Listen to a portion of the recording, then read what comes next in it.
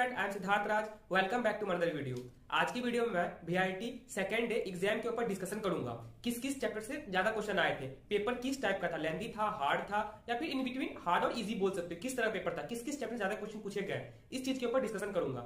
Video बनाने में थोड़ा लेट हो रहा है बट मैं मैक्सिमम बच्चे से बात कर रहा हूँ, उसके बाद ही वीडियो को बना रहा हूँ। रिक्वेस्ट करता हूँ, अगर कल एग्ज़ाम देने वाले हो एटलीस्ट जो मैं बोल रहा हूँ, उसे मान लो, कुछ मार्क्स वहाँ इंक्रीज हो जाएगा, ठीक है? चलो मैं सबसे पहले बात करता हूँ। अगर मैं बात करूँ मैथ्स के ऊपर तो मैथ्स में लगभग जितने बच्चे से बात हुआ, मेरा सारे बच्चे बोल रहे थे मॉडरेट था क्वेश्चन तुम्हारा। इजी से मॉडरेट के बीच में था। और केमिस्ट्री पूरा फॉर्मुला बेस्ड क्वेश्चन था। अगर मेरा नेमिंग रिएक्शन का जो मैं प्रोवाइड किया हूँ, अगर वो कर लिए होगे तो ऑर्गेनिक का मैक्सिमम क्वेश्चन किल कर दिए होगे तुम। अगर मैं बात करूँ फ़िज़िकल के ऊपर फ़िज़िकल में इलेक्ट्रोकेमिस्ट्री केमिकल काइनेटिक्स से क्वेश्चन था तुम्हारा। और इनऑर्गेनिक के ऊपर बात करो तो मतलब जो रहता है इनऑर्गेनिक में तुम्हारा डी ब्लॉक से रहता है, तुम्हारा कुछ कुछ डी ब्लॉक से था तुम्हारा, और आज पी ब्लॉक से भी था कुछ क्वेश्चन और तुम्हारा कोऑर्डिनेशन कंपाउंड और केमिकल बॉन्डिंग से रहता ही रहता है। और याद रखना एटॉमिक स्ट्रक्चर तुम फिजिक्स में पढ़ोगे, इससे एटॉमिक स्ट्रक्चर तुम तैयारी कर लो। फिजिक्स में पूछा जाएगा मॉडर्न फिजिक्स में, और केमिस्ट्री में पूछा जाएगा तुम्हारा। मतलब केमिस्ट्री बोल सकते हो, पूरा इजी क्वेश्चन था तुम्हारा, और अगर मेरा नेमिंग रिएक्शन और नॉर्मल जो मैं पीडीएफ प्रोवाइड किया हूँ, वो किए होगे तो मैक्सिमम बेनिफिट तुम्हारा हो गया होगा। बात करो फिजिक्स के ऊपर तो फिजिक्स में याद रखना, एक ही चैप्टर पे फिर से बोल रहा हूँ। कल था तुम्हारा चार से पाँच क्वेश्चन आज भी चार पाँच क्वेश्चन था तुम्हारा मॉडर्न फिजिक्स इलेक्ट्रोस्टैटिक्स से क्वेश्चन मैक्सिमम था तुम्हारा करंट इलेक्ट्रिसिटी ईएमआई एसी अगर, मैं तो इतना ही बोलूँगा ट्राई टू एटलीस्ट फॉर्मुला से देख लेने का फॉर्मुला बेस्ड क्वेश्चन आ रहा है। और मैथ्स के ऊपर मैं बात करूँ मैथ्स में देखो, आज फिर से तुम्हारा छह क्वेश्चन पूछा गया वेक्टर थ्री से। उसके बाद बात करूँ मैं तुम्हारा हाँ आज इन्वर्स से भी क्वेश्चन तुम्हारा पूछा गया है।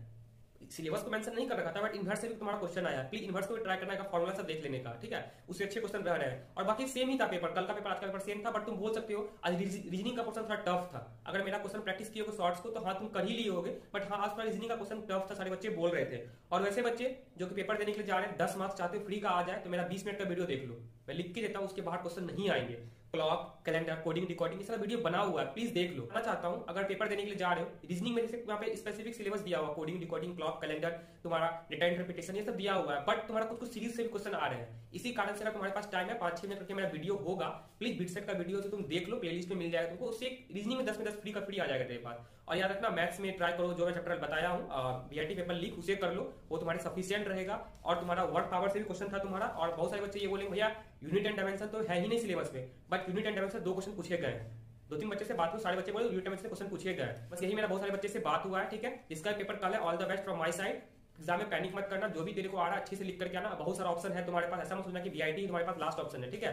इसी कारण से और मेरा एक ओपिनियन है ना ट्राई करना सबसे पहले रीजनिंग और इंग्लिश को सॉल्व करने, क्योंकि रीजनिंग ऐसा चीज़ है लास्ट में हड़बड़ा के सॉल्व नहीं कर सकते हो।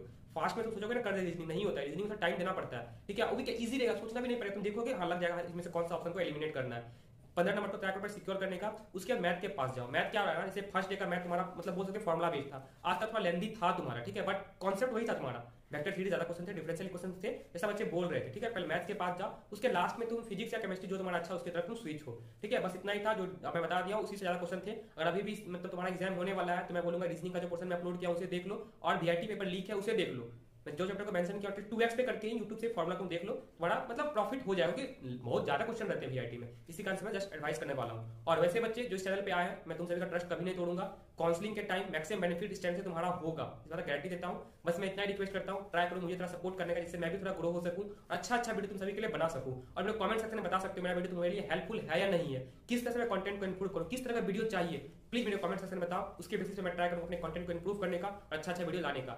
और कल का पेपर का जो एनालिसिस मैं लगभग दस से ग्यारह, बारह बजे रात तक मैं अपलोड कर दूँगा, ठीक है? उससे तुम्हारा मैक्सिमम बेनिफिट हो जाए बहुत सारे बच्चे बोल रहे हैं मणिपाल के रिगार्डिंग क्यों नहीं बना रहे मणिपाल के रिगार्डिंग सारा वीडियो मैं अच्छे से बना हुआ, तुमसे फॉलो करो। और बाकी रहा रीजनिंग का इंग्लिश का, जो भी मणिपाल के वो सब मैं अपलोड करूँगा। और बहुत सारे बच्चे जो बिटसेट का तैयारी कर रहे हैं, उसके लिए भी आएगा तुम्हारा, ठीक है? वीआईटी के बाद मैं बिटसेट के रिगार्डिंग कितने क्वेश्चन है इंपॉर्टेंट सब क्वेश्चन रिपीटेड क्वेश्चन सारा मैं अपलोड करूँगा। बस इतना ही प्लीज़ सपोर्ट दिखाओ, जिससे कि मैं भी ग्रो हो सकूँ। खुद इस इन्फॉर्मेशन इन्फॉर्मेटिव थैंक यू